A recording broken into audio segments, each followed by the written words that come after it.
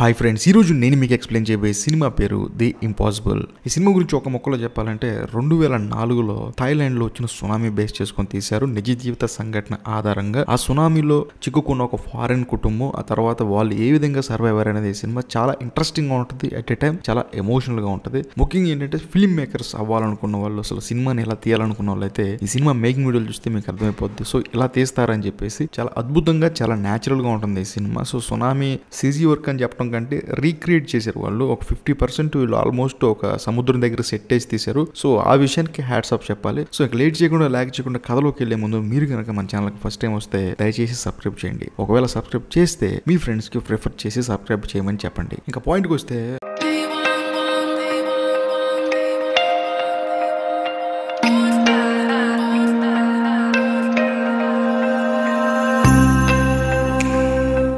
ఈ సినిమాలో హీరో వచ్చేసి ఒక లూక్ అనే కుర్రోడు ఉంటాడు. అతను మనం కనుక హీరో అనుకుంటే ఫస్ట్ ఆఫ్ ఆల్ హీరో వాళ్ళ నాన్న ఏంటంటే ఒక బిజినెస్ మ్యాన్ తర్వాత హీరో వాళ్ళ అమ్మ ఏంటంటే డాక్టర్ తర్వాత మన కథలో హీరోకి ఏంటంటే ఇద్దరు తమ్ముళ్ళు ఉంటారు. సో వీళ్ళందరూ ఏంటంటే జపాన్ నుంచి థాయిలాండ్కి క్రిస్మస్ సందర్భంగా వస్తారనమాట సో వచ్చిన తర్వాత బీచ్కి పక్కనే ఉన్న ఒక రిసార్ట్లో వాళ్ళు దిగుతారు. దిగిన తర్వాత రెండు రోజులు బాగా ఎంజాయ్ చేస్తారు. అంతేకాకుండా హీరో వాళ్ళ నాన్న ఏంటంటే క్రిస్మస్ సందర్భంగా వాళ్ళకి అన్ని బట్టలు కొనిస్తాడు బొమ్మలు కొనిస్తాడు ఆడుకోవడానికి. అంతేకాకుండా రెడ్ కలర్ ఒక బాల్ కూడా కొనిస్తాడు వాళ్ళకి. సరే అని చెప్పేసి సరదాగా ఆడుకుంటా ఉంటారు. ఆ తర్వాత ట్వంటీ సిక్స్త్ అంటే డిసెంబర్ ట్వంటీ సిక్స్త్ ఏంటంటే ఒక రోజు యాజ్ యూజువల్గా రిసెట్ ముందు అందరూ ఆడుకుంటా ఉంటారు. అలాంటి సమయంలో సడన్గా హీరోయిన్ బుక్ చదువుతా ఉంటే బుక్ నుంచి ఒక పేపర్ ఎగిరిపోద్ది అనమాట ఎగిరిపోయి అది ఒక గ్లాస్ కంటుకుంటది. ఆ గ్లాస్ కంటుకున్న తర్వాత పేపర్ తీసుకుని చూస్తే ఆ గ్లాస్ షేక్ అయిపోతూ ఉంటది. ఏంటి అసలు గ్లాస్ షేక్ అవుతుందని చెప్పి చూస్తే అక్కడ ఉన్న ప్లేస్ మొత్తం ఉనికిపోతూ ఉంటది. అప్పుడు హీరోయిన్కి ఒక విషయం అర్థం అవుతుంది ఏదో మొత్తానికి ఏదో జరుగుతుంది ఇక్కడ అని చెప్పేసి అలా వెనక్కి తిరిగి చూస్తే ఆ వెనకాల ఉన్న సముద్రం ఏంటంటే ఆ రిసెట్స్ మీదకి వచ్చేస్తా ఉంటది అనమాట చెట్లు విరిగిపోతా ఉంటాయి. అన్ని ముందుకు వచ్చేస్తా ఉంటది. అప్పుడు హీరో వాళ్ళ నాన్న ఏం చేస్తాడంటే తన ఇద్దరు పిల్లల్ని తీసుకొని తప్పించుకునే ప్రాసెస్లో ఆ వేవ్ వాళ్ళ నాన్న కొట్టేస్తుంది. అదే సమయానికి మన కథలో హీరో అయినటువంటి లోక ఏం చేస్తాడంటే స్విమ్మింగ్ పూల్లోకి దూకేస్తాడు. ఆ తర్వాత తాను కూడా అలా తప్పించుకుంటాడు. కానీ హీరో వాళ్ళ అమ్మ ఏంటంటే అలా చూస్తుండిపోద్ది. ఎందుకంటే తన వల్ల తప్పించుకోవడానికి వీలే కాదు. అలా ఆ వేవ్కి బలైపోద్ది. కట్ చేస్తే ఆ థాయిలాండ్లో ఆ వేవ్ వచ్చిన ప్లేస్ అంతా నాశనం అయిపోద్ది. ఆ తర్వాత ఎక్కడో అక్కడ చల్ల చిదురైపోయి ఎటులోటి వెళ్ళిపోతారు? ఎందుకంటే ఎవరు ఎక్కడున్నారు కూడా ఎవరికి తెలియదు. కట్ చేస్తే మన కథలో హీరో వాళ్ళ అమ్మ ఏంటంటే ఒక చోట ఒక స్తంభాన్ని పట్టుకొని నుంచొని చూస్తూ ఉంటుంది. తనకి ఏం అర్థం కాదు. తన పిల్లలు ఎక్కడున్నారో తన భర్త ఎక్కడున్నారో ఆలోచిస్తున్న సమయంలో సడన్గా మన కథలో హీరోయిన్ లూకాస్ కొట్టుకుంటూ వెళ్ళిపోతూ ఉంటాడు. అప్పుడు తన పిల్లాడి కళ్ళు చూసి గట్టిగా అరుస్తుంది. అప్పుడు మన కథలో హీరో కూడా వాళ్ళ అమ్మ కళ్ళు చూసి గట్టి గట్టిగా అరవటం స్టార్ట్ చేస్తాడు. కానీ ఆ వాటర్ ఫోర్స్కి తను కొట్టుకుంటూ వెళ్ళిపోతాడు. అది చూసిన హీరో వాళ్ళ అమ్మ తాను కూడా చమ్మం వదిలేసి తన కొడుకు కోసం వెళ్తుంది. అలా వెళ్తున్న ప్రాసెస్లో హీరో వాళ్ళ అమ్మకి భయంకరమైన దెబ్బలు తగులుతాయి. తన చెస్ట్కి కర్ర ముక్కలన్నీ గుచ్చుకుని పోయి బ్లడ్ బ్లీడ్ అయిపోతూ ఉంటుంది. అదే సమయంలో హీరోకి ఏంటంటే ఒక చోట పట్టు దొరికి పట్టుకుని అలా ఉండిపోతాడు. అప్పుడు వాళ్ళ అమ్మ కొట్టుకుంటూ పోతూనే ఉంటుంది. వాళ్ళ అమ్మ ఏముంటుందంటే నువ్వు అక్కడే ఉండు నీ ఎలాగోలు అక్కడికి వస్తానంటే. వాళ్ళ అమ్మ కొట్టుకుంటూ పోవడం చూసిన హీరో అక్కడ నుంచి తను వదిలేసి మళ్ళీ వాళ్ళ అమ్మ దగ్గరికి వెళ్తాడు. అలా కొట్టుకుంటూ కొట్టుకుంటూ వెళ్తున్న వీళ్ళిద్దరూ సడన్గా ఒక చోట వీళ్ళిద్దరికి ఒక బెడ్ దొరుకుతుంది. సరే అని చెప్పేసి ఆ బెడ్ మీద ఎక్కి కూర్చుందని చెప్పి ట్రై చేస్తున్న సమయంలో సడన్గా ఆ బెడ్కి మధ్యలో ఒక కరెంట్ స్తంభం వచ్చి ఆ బెడ్ని తగులుతుంది. తగిలిన తర్వాత బెడ్ ఎగిరి అవతల పడుతుంది. మళ్ళీ వీళ్ళిద్దరు వేరే వేరే చోట్ల పడతారు. ఆ తర్వాత హీరో ఏంటంటే వాళ్ళ అమ్మ కంటే ముందు కొట్టుకుపోతూ ఉంటాడు. అలా పోతున్న సమయంలో వాళ్ళ వాళ్ళ అమ్మ ఎక్కడని చెప్పేసి వెతుకుతూ ఉంటాడు. ఇదే సమయంలో ఒక స్తంభాన్ని పట్టుకొని వాళ్ళ అమ్మను చూస్తూ ఉంటాడు. అదే సమయంలో వాళ్ళ అమ్మ బాడీ ఎటువంటి మూమెంట్ లేకుండా ఒక చెత్త కుప్ప పక్కకు వస్తుంది. అది చూసిన హీరోకి ఏం అర్థం కాదు. అమ్మ అమ్మ అని చెప్పేసి గట్టిగా అరుస్తూ ఉంటాడు. అదే సమయంలో వాళ్ళ అమ్మ లెగిసి చూస్తుంది. తనకేం కాలేదని చెప్పి హీరో కూడా హ్యాపీగా ఫీల్ అవుతాడు. నువ్వేం భయపడ మాకు నేను దగ్గరికి వస్తానని చెప్పి వాళ్ళ అమ్మ అక్కడికి వస్తుంది. కానీ ఇప్పుడు ఒక పెద్ద ట్విస్ట్ ఉంది ఏంటంటే మళ్ళీ ఇంకో పెద్ద వేవ్ వాళ్ళ పక్క వస్తుంది. వచ్చిన తర్వాత మళ్ళీ గల్లంత అవుతారు ఆ తర్వాత ఒక పెద్ద కొమ్మను పట్టుకొని ఇద్దరు ఒక చోట ఉండిపోతారు. ఆ తర్వాత హీరో వాళ్ళ అమ్మ హీరోకి ధైర్యం చెప్పింది. సరే అని చెప్పేసి చిన్నగా నీళ్ళలో నుంచి ఒడ్డుకి నడుచుకుంటూ వెళ్తూ ఉంటారు. అలా వెళ్తున్న ప్రాసెస్లో హీరోకి అర్థమయ్యే విశేషం ఏంటంటే వాళ్ళ అమ్మ కాలుకి భయంకరంగా దెబ్బ తగిలిందని. అంతేకాకుండా తన చెస్ట్కి బాగా గాయం అయిపోయి బ్లీడింగ్ అవుతుందని చెప్పేసి. అప్పుడు వాళ్ళ అమ్మ ఏం చేస్తుందంటే అక్కడ ఉన్న వేరులు తీసుకుని తన కాలు గట్టిగా కట్టుకొని ఆ వుడ్డుకి నడుచుకుంటూ వెళ్తారు. వెళ్తున్న సమయంలో ఎక్కడో హెల్ప్ హెల్ప్ అని ఒక చిన్న పిల్లాడు అరుస్తున్న శబ్దం వస్తుంది. అప్పుడు హీరో వాళ్ళ అమ్మే ఉంటుందంటే మనం అతని దగ్గరికి వెళ్ళి హెల్ప్ చేద్దాం చెప్పంటుంది కానీ హీరో ఏమంటాడంటే అతను ఎవరో మనకు తెలియదమ్మా దయచేసి మనకు నుంచి వెళ్ళిపోదామని అని చెప్పేసి వాళ్ళ అమ్మని అంటాడు. అప్పుడు హీరో వాళ్ళ అమ్మే ఉంటుందంటే అదే ప్లేస్లో నీ ఇద్దరు తమ్ముళ్ళు ఉంటే ఏం చేస్తావని చెప్పి అడుగుతుంది. అప్పుడు హీరో ఏమంటాడంటే అమ్మ నాన్న ఇద్దరు తమ్ముళ్ళు చనిపోయారమ్మ. వాళ్ళు ఇంకా రారని చెప్పేసి ఇక్కడ నుంచి మనం వెళ్దాం పద అని చెప్పేసి వాళ్ళ అమ్మని పిలుస్తాడు. అప్పుడు హీరో వాళ్ళ అమ్మ ఏమంటుందంటే ఏది చూడకుండా నువ్వు ఫిక్స్ అవ్వకు ఎప్పుడైనా సరే మనం ఎటువంటి పరిస్థితుల్లో ఉన్నా సరే ఎదుటి వాళ్ళకి హెల్ప్ చేయడం నేర్చుకొని చెప్పేసి వాళ్ళ అమ్మ అంటుంది. సరే అని చెప్పేసి ఆ పిల్లాన్ని వెతుక్కుంటూ వెళ్ళి ఆ పిల్లాన్ని హెల్ప్ చేసి ఆ పిల్లాన్ని కూడా వీళ్ళతో పాటు తీసుకెళ్తారు. అలా తీసుకెళ్ళే ప్రాసెస్లో వీళ్ళ ముగ్గురు ఏం చేస్తారు? చేస్తారంటే ఒక చెట్టు మీదకి ఎక్కి కూర్చుంటారు. చెట్టు మీదకి ఎక్కేటప్పుడు ఇద్దరు పిల్లలు బాగానే ఎక్కుతారు. కానీ హీరో వాళ్ళ అమ్మకి కాలు బాలేదు కాబట్టి హీరో మళ్ళీ కిందకి దిగి వచ్చి వాళ్ళ అమ్మని తన భుజం మీద కాలు పెట్టి పైకెక్కమని చెప్తాడు. అప్పుడు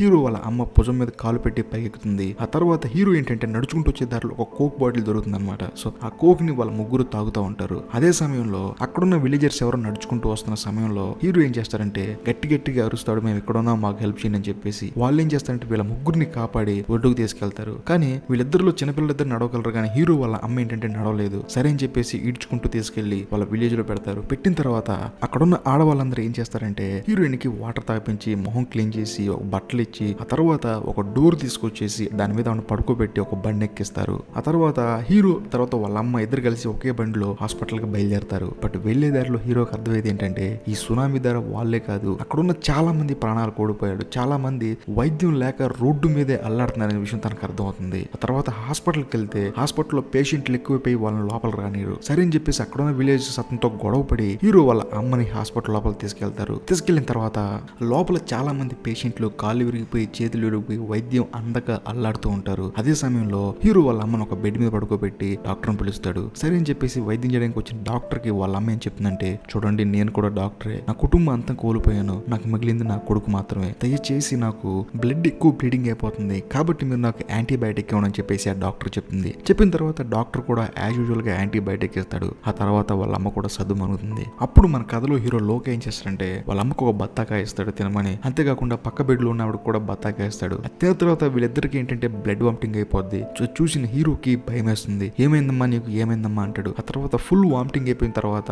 కడుపు అంతా క్లీన్ అయిపోయినట్టుండి ఇప్పుడు అంతా బాగుందని చెప్పేసి ఇద్దరు పడుకుంటారు. పడుకున్న తర్వాత హీరో కూడా పక్కనే ఉంటాడు. అప్పుడు వాళ్ళ అమ్మ పిలిచి వీళ్ళు మనలాగే మన కుటుంబం లాగే ఎంతో మంది ఎంతో మంది హెల్ప్ కోసం ఎదురు చూస్తూ ఉంటారు. దయచేసి నువ్వు వెళ్ళి వాళ్ళకి హెల్ప్ చేయి. నేను ఇక్కడే ఉంటానని చెప్పేసి హీరో వాళ్ళ అమ్మ హీరోతో చెప్తుంది. అప్పుడు హీరో ఏం చేస్తారంటే బయటికి వెళ్ళి ఎవరికైనా హెల్ప్ కావాలన్న సమయంలో ఒక పెద్ద ఆయన తన కొడుకు తప్పిపోయాడని చెప్పేసి హెల్ప్ కోసం ఎదురు చూస్తూ ఉంటాడు. అదే సమయానికి హీరో ఏం చేస్తారంటే నేను మీకు హెల్ప్ చేస్తానని చెప్పేసి తన కొడుకు పేరు ఒక పేపర్ మీద రాసుకుంటాడు. అలా ముందుకు వెళ్తున్న సమయంలో ఎంతో మంది వాళ్ళ వాళ్ళ పిల్లల పేర్లు చెప్తా ఉంటాడు. అవన్నీ నోట్ చేసుకుని ఒక్కొక్క వార్డుకి వెళ్ళి కేకలిస్తూ ఉంటాడు. అదే సమయంలో మొదట్లో కలిసిన ఒక పెద్ద ఆయన కొడుకు నేనేం చెప్పి తన ముందుకు వస్తాడు వచ్చిన తర్వాత ఆ పిల్లాన్ని తీసుకెళ్ళి ఆ పెద్ద ఆయనకి చెప్పినప్పుడు ఆ పెద్ద ఆయన ఆ పిల్లాన్ని వాటేసుకుని ఏడుస్తూ ఉంటే హీరోకి మాత్రం ఎంతో ఆనందంగా ఉంటుంది. ఎందుకంటే తను చేసింది చిన్న హెల్పే. కానీ వాళ్ళిద్దరూ హక్ చేసుకుని ఏడుస్తున్నప్పుడు వాళ్ళ కళల్లో చూసిన ఆనందం మన కథలో హీరోకి మాత్రం ఎంతో ఎమోషనల్గా అనిపిస్తుంది. అప్పుడు వాళ్ళ అమ్మ చెప్పిన మాట గుర్తొస్తుంది. ఆ తర్వాత ఇదే విషయాన్ని వాళ్ళ అమ్మతో చెప్దామని చెప్పేసి వాళ్ళ అమ్మ బెడ్ దగ్గరికి వెళ్తాడు. కానీ ఆ బెడ్లో వాళ్ళ అమ్మ ఉండదు. వాళ్ళ అమ్మ ఎక్కడికి వెళ్ళిందని చెప్పేసి అమ్మ అమ్మ అని చెప్పేసి అరుస్తూ ఉంటాడు. కానీ అదే సమయానికి వాళ్ళ అమ్మ బెడ్ మీద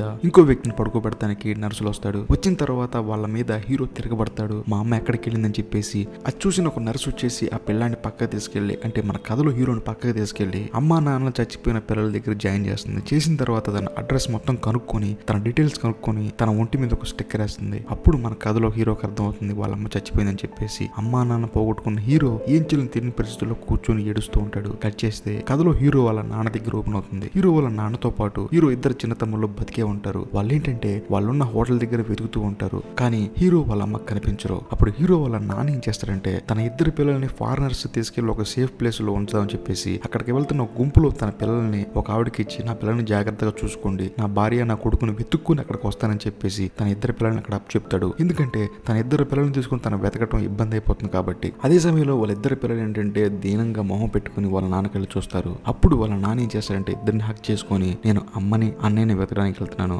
వాళ్ళిద్దరిని కలిసిన తర్వాత మేము ముగ్గురు కలిసి వచ్చి మీ ఇద్దరిని తీసుకెళ్తామని చెప్పేసి మన హీరో వాళ్ళ నాన్న చెప్తాడు. ఆ తర్వాత వాళ్ళకి ఇచ్చేసి పిల్లల్ని పంపించేస్తాడు. పంపించిన తర్వాత మన కథలో హీరో వాళ్ళ నాన్న ఏంటంటే నడుచుకుంటూ వెళ్తాడు. ఒక పక్క నడవలేకపోతాడు. అదే సమయంలో ఎదురుగా వస్తున్న కార్కి అడ్డం పడతారు. వాళ్ళు ఏంటంటే ఒక క్యాంప్ మీద వెళ్ళేవాళ్ళు. సరే అని చెప్పేసి వాళ్ళు మన కథలో హీరో వాళ్ళ నాన్నని తీసుకెళ్ళేసి మంచి బట్టలు ఇచ్చి మొహం అంతా కడిగి తనకు ఒక మొబైల్ ఫోన్ ఇస్తారు మాట్లాడుకోమని చెప్పి. అప్పుడు హీరో వాళ్ళ నాన్న ఏం చేస్తాడంటే ఆ ఫోన్ తీసుకొని తన భార్య వాళ్ళ నాన్నకి ఫోన్ చేసి జరిగింది మొత్తం చెప్తాడు. అలాగే తన భార్య తన పెద్ద కొడుకు కనిపించలేదని చెప్పేసి అని చెప్పేసి వాళ్ళతో చెప్పి బాధపడతాడు. అంతేకాకుండా ఎట్టి పరిస్థితుల్లో తన భార్యని తన పెద్ద కొడుకును పట్టుకొని అక్కడికి పంపించిన తన ఇద్దరు చిన్నపిల్లలను పట్టుకొని "మేము ముందుకు వస్తానని చెప్పేసి వాళ్ళ మామయ్యతో చెప్పి ఫోన్ కట్ చేస్తాడు. కట్ చేస్తే కథ హీరో దగ్గర ఓపెన్ అవుతుంది. హీరో ఏంటంటే తల్లిదండ్రులు లేని అనాథ పిల్లలు ఉండే చోట కూర్చొని ఉన్నప్పుడు సడన్గా ఒక నర్సు వచ్చి మన కథలో హీరోని తీసుకెళ్తుంది. తీసుకెళ్ళి తానే ఉంటుందంటే ఇక్కడున్న వార్చి ఉంగరాలు అన్ని మీ అమ్మగారి ఒకసారి చూసుకోనలోనే అవి చూసి హీరో అవును మా అమ్మగారి అని చెప్పగలనే వాళ్ళందరూ తల దించుకుని మన కథలో హీరోని ఒక చోట తీసుకెళ్తూ ఉంటారు. ఏంటని చెప్పి చెప్పేసి హీరో మైండ్ ఎవరైనా అవుతుందంటే కొంపదీసి వాళ్ళ అమ్మ శవాన్ని చూపించడానికి అనుకుంటారు. కానీ అక్కడికి వెళ్ళి చూస్తే వాళ్ళ అమ్మ బతికే ఉంటుంది. ఏంటంటే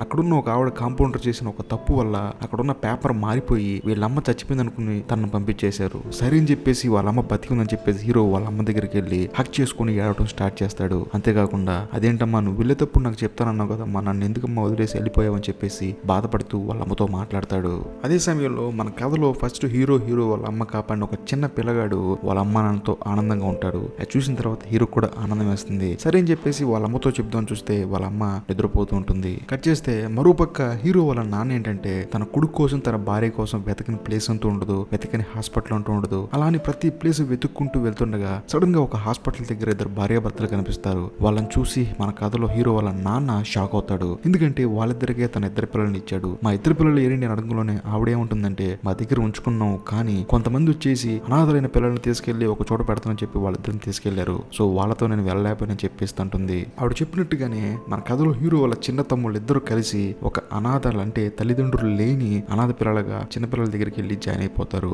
వాళ్ళని వేరే క్యాంప్ తీసుకెళ్తూ ఉంటారు. ఇంకో పక్క హీరో వాళ్ళ నాన్న ఏంటంటే సరే ఇద్దరు పిల్లలు ఎలాగోలా క్యాంప్కి వెళ్ళిపోయారు. తన భార్యని తన పెద్ద కొడుకుని వెతుక్కుందని ప్రతి హాస్పిటల్కి వెళ్తాడు. ఎలాగోలాగా తన భార్య తన కొడుకున్న హాస్పిటల్కి వచ్చి ఎతకడం మొదలు పెడతాడు. అదే సమయంలో హీరో వాళ్ళ అమ్మే ఉంటుందంటే నాకు ఆకలిగా ఉంది బయటికి వెళ్ళని తీసుకురన్నప్పుడు హీరో బయటకు వస్తాడు. వచ్చిన తర్వాత వాళ్ళ నాన్న హీరో ఇద్దరు ఒకే చోట నుంచి నడుచుకుంటూ వెళ్తారు. కానీ ఒకరినొకరు చూసుకోరు. అదే సమయానికి హీరో వాళ్ళ నాన్న హడావుడిగా బయటికి వెళ్ళిపోతూ ఉంటాడు. ఆ టైంలో హీరో వాళ్ళ నాన్న షార్ట్ చూస్తాడు. చూసి గుర్తుపెట్టి నాన్న నాన్న అని చెప్పి గట్టిగా అరుస్తాడు. అయినా సరే వాళ్ళ నాన్నకి వినిపించదు. బయటికి వెళ్ళి చూస్తే కొన్ని వందల మంది ఉంటారు. ఆ తర్వాత హీరోకి వాళ్ళ నాన్న కనిపించడు. ఇంకో పక్క ఏంటంటే హీరో వాళ్ళ నాన్న ఏంటంటే ఆ డ్రైవర్ ఐదైదు నిమిషాలు టైం ఇస్తాడు. సరే అని చెప్పేసి బండి ఎక్కుతాడు ఎక్కిన తర్వాత తన పిల్లలకి క్రిస్మస్ రోజు కొన్న రెడ్ కలర్ బాల్ కనిపిస్తుంది. అది చూసిన తర్వాత హీరో వాళ్ళ నాన్నకి తన ఇద్దరు చిన్నపిల్లలు గుర్తొస్తారు. ఇంకో పక్క ఇద్దరు చిన్నపిల్లలు ఏదైతే క్యాంప్ బండి ఎక్కారో ఆ క్యాంపు బండి అడి తిరిగి ఇడి తిరిగి వాళ్ళున్న హాస్పిటల్కే వస్తుంది. అంటే హీరో తర్వాత హీరో వాళ్ళ అమ్మ ఉన్న హాస్పిటల్కి వస్తుంది. అంతేకాకుండా హీరో వాళ్ళ నాన్న కూడా అదే హాస్పిటల్లో బయలుదేరడానికి రెడీగా ఉన్నాడు. అక్కడికొచ్చి ఆగిన తర్వాత ఆ ఇద్దరు చిన్నపిల్లలకి ఏంటంటే ఒకరికి యూరిన్ వస్తుంది. అయినా సరే యూరిన్ పోసుకుంటా అని చెప్పి బండి దిగి యూరిన్ పోసుకున్న తర్వాత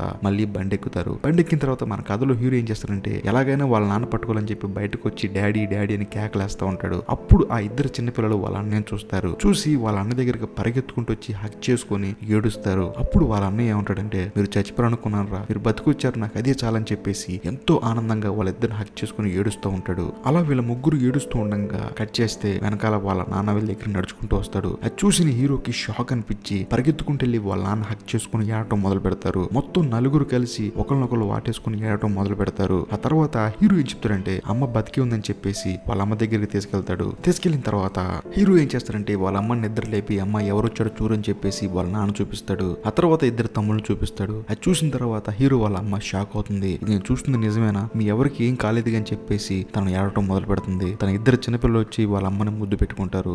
ఆ తర్వాత హీరో వాళ్ళ అమ్మ వాళ్ళ నాన్నతో ఇలా అంటుంది. ఏంటంటే ఇక మీదట నేను బతకను. ఎందుకంటే నాకు ఆపరేషన్ చేయాలంట. ఆ ఆపరేషన్ చేస్తేనే నేను బతుకుతలేదు తెలిసిందంట. అందుకని నేను బతకను. కాబట్టి ముగ్గురు పిల్లల్ని జాగ్రత్తగా చూసుకొని చెప్పేసి వాళ్ళ ఆయనతో చెప్పి ఏడుస్తూ ఉంటుంది. అప్పుడు హీరో హీరో వాళ్ళ నాన్న వాళ్ళ అమ్మతో ఏమంటాడంటే మన నలుగురం కలిసింది నువ్వు చచ్చిపోవడానిక నీకేం కాదు నువ్వు మళ్ళీ హ్యాపీగా తిరిగి వస్తావు మనందరం కలిసి మన ఊరు వెళ్ళిపోదాం అని చెప్పేసి తన భార్యకి ధైర్యం చెప్తాడు. ఆ తర్వాత హీరో వాళ్ళ అమ్మని ఆపరేషన్ థియేటర్ తీసుకెళ్తాడు. భగవంతుడి దయ వల్ల ఆమెకి ఏం కాకుండా వెనక్కి తిరిగి వస్తుంది. వచ్చిన తర్వాత వాళ్ళ ఐదుగురు కలిసి ఆ కుటుంబం మొత్తం ఒక ఫ్లైట్లో వాళ్ళ ఊరికి వెళ్ళిపోతా ఉంటారు. వెళ్ళిపోయేటప్పుడు హీరో ఏం చెప్తాడంటే వాళ్ళ అమ్మ దగ్గరికి వచ్చి అమ్మ మనం ఫస్ట్ కాపాడిన ఒక చిన్న పిల్లగాడు వాళ్ళ అమ్మా నాన్నతో చాలా హ్యాపీగా ఉన్నాడమ్మా. అంతేకాకుండా నువ్వు చెప్పిన విషయం నాకు అర్థమైందమ్మా. మనం ఎంత ఆపదలో ఉన్నా మనకు కుదిరితే ఖచ్చితంగా ఎదుటి వరకు సాయం చేయాలన్న విషయం మాత్రం నాకు బాగా అర్థమైందమ్మా అని చెప్పేసి వాళ్ళ అమ్మతో చెప్తాడు. అప్పుడు వాళ్ళ అమ్మ ఏముంటుందంటే నీలాంటి గొప్ప బిడ్డను కన్నందుకు నాకు ఆనందంగా ఉందని చెప్పేసి వాళ్ళమ్మ హీరోతో చెప్తుంది. అంతేకాకుండా ఐదుగురు ఏం చేస్తారంటే కింద మునిగిపోయిన ఆ ఊరిని చూస్తూ ఫ్లైట్లో వెళ్ళిపోతూ ఉంటారు. ఇదే సమయంలో సినిమా అయిపోతుంది. సో ఒక ట్రూ ఇన్సిడెంట్స్ని బేస్ చేసుకుని తీసిన సినిమా ఇది. ఎందుకంటే కల్పితం కాదు. సో వాళ్ళు పడిన ఎన్ని కష్టాలు పడి ఉంటారు ఎన్ని ఇబ్బందులు పడి ఉంటారు. ఒక్కసారి కుటుంబం మొత్తం విడిపోయి మళ్ళీ కలసడం అంటే అది మామూలు విషయం కాదు. కాదు సో ఈ సినిమా అయితే నాకు చాలా బాగా నచ్చింది. మీకు కూడా నచ్చినట్టయితే లైక్ చేయండి షేర్ చేయండి కామెంట్ చేయండి. మరీ ముఖ్యంగా సబ్స్క్రైబ్ చేసి బెల్ ఐకాన్ ప్రెస్ చేయండి. బాయ్.